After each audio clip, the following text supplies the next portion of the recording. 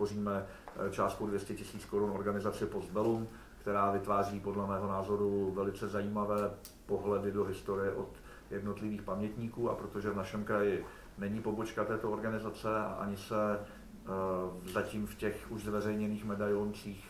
uh, pamětníků neobjevilo příliš obyvatel z našeho kraje, tak jsme se rozhodli, že částku 200 000 korun podpoříme právě to, aby lidé z regionu uh, mohli um, svoje osobní prožitky, osobní zážitky z minulosti zaznamenat. Myslím, že na tom je strašně mm, důležité to, že, to, že ty eh, medailonky zpracovávají děti ze škol, že tam je to propojení pamětníků s, s dětmi.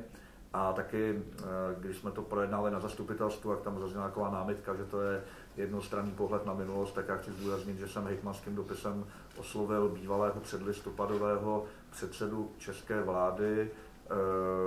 člověka, který pracoval komunistické věznici, stejně tak jako významného dnešního podnikatele, který už v, roce, už v 80. letech eh, působil v managementu státních podniků, stejně tak jako eh, disidenty z regionu, takže ten pohled na tu minulost bude určitě velice různorodý. Samozřejmě pokud všichni ti oslovení eh,